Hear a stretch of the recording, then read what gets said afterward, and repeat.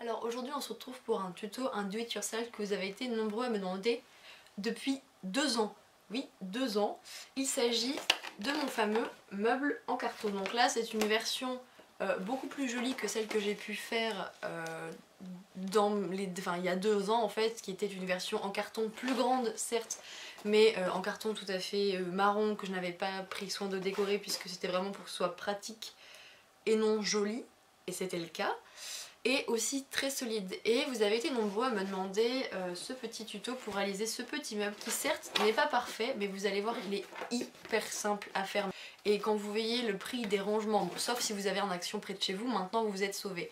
Mais n'empêche que euh, ça c'est très pratique parce que étant un rangement ouvert, vous pouvez mettre des trucs qui dépassent, plus vous pouvez le décorer comme vous voulez et également vous pouvez faire la taille que vous voulez puisque celui-ci il est petit mais vous pouvez le faire en beaucoup plus grand avec des casiers beaucoup plus petits.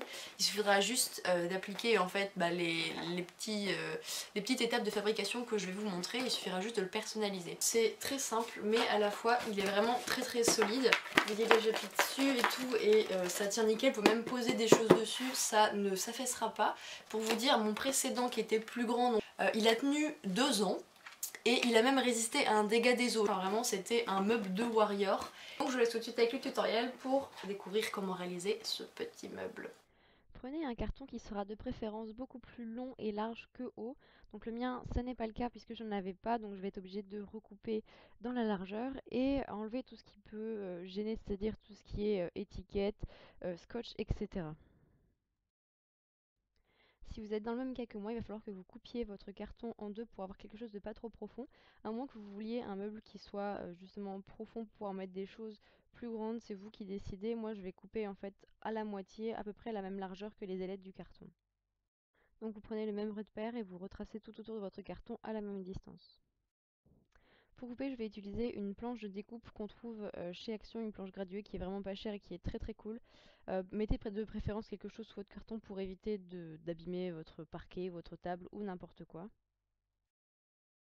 Pour couper droit, utilisez de préférence un cutter et une vieille règle euh, pour ne pas couper la règle parce que des fois ça arrive de couper le plastique. Si vous êtes jeune, vous pouvez demander à vos parents pour ne pas vous blesser. Opérez de la même façon pour couper les quatre faces du carton. Séparez ensuite les morceaux, donc vous voyez ici ce qui va être du coup notre base de meuble. Découpez ensuite les ailettes du carton car normalement si vous avez bien calculé et bien coupé, elles sont exactement de la même largeur que votre bout. Vous pouvez aussi utiliser des autres chutes de carton mais là l'avantage c'est qu'elles font exactement les mêmes dimensions que ce soit en hauteur et en largeur que les deux côtés de votre boîte. Prenez chacune des ailettes découpées et mesurez-la afin de pouvoir la séparer en trois parties égales. Donc vous faites des repères des deux côtés euh, du, des cartons. Moi j'utilise la planche de découpe qui est graduée, ce qui est très très pratique. Et vous allez la séparer en trois morceaux Ensuite, sur les lignes que vous venez de tracer, vous allez encore d'une fois mesurer et faire un petit repère à la moitié. Vous pouvez également, comme je le fais, euh, foncer, repasser plusieurs fois sur la moitié justement de cette grande ligne que vous avez tracée précédemment pour savoir euh, quel côté vous allez devoir couper puisqu'on va faire des entailles, des encoches euh, pour pouvoir que les étagères s'imbriquent et du coup par moitié. Donc là tout de suite vous avez peut-être un petit peu de mal à voir le principe mais vous allez comprendre juste après, c'est très très simple. Donc toujours avec notre règle, notre cutter, on va venir euh, couper les entailles donc jusqu'à la moitié, jusqu'au repère qu'on vient de tracer juste avant. Donc essayez de couper euh, en deux fois, c'est-à-dire d'espacer les deux euh, coupes de environ 1 mm et demi ou 1 mm pour que ça puisse être plus pratique pour pouvoir imbriquer les étagères entre elles. Prenez soin de retirer la matière que vous avez découpée pour pas qu'elle ne bloque quand vous allez assembler les différentes parties des étagères.